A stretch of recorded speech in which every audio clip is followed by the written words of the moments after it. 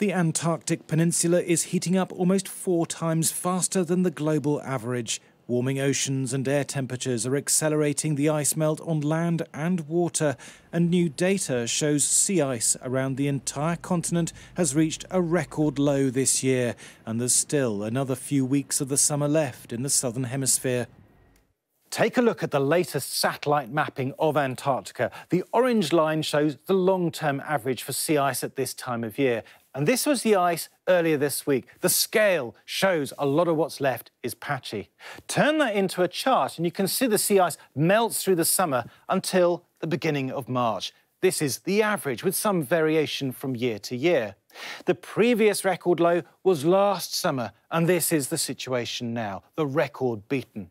And it's a similar story in the Arctic. Winter should be a time when the sea freezes over, but this year it covers a much smaller area than normal, particularly in the north of Europe. There's the UK and Scandinavia.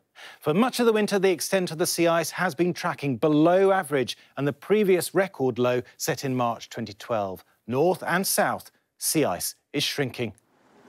That has a big impact on polar animals that depend on sea ice for rest, shelter, and food. But sea ice also drives global ocean currents and weather patterns. And scientists returning from Antarctica warn the loss will affect us all.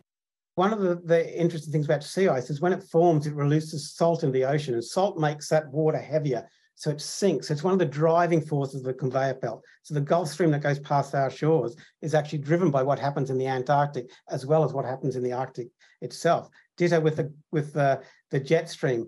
The jet stream's affected by what happens in the polar regions, and therefore those meanders that we saw, if you think about the Arctic, the beast from the east, that was all driven by what's happening in the Arctic.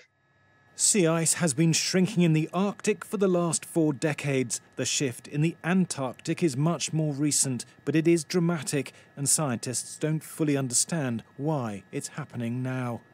Thomas Moore, Sky News.